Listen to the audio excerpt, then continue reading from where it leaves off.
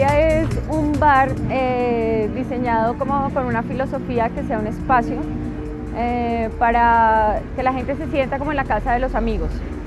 Por eso la decoración, eh, hay una habitación con una cama, hay un baño muy grande con una sala, hay un jardín,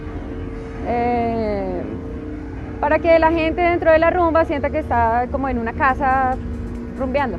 La imagen visual que pueden tener de todos los espacios.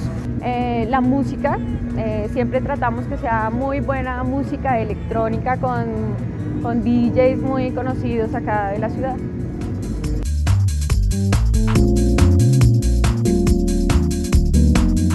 Mi casa para mis amigos.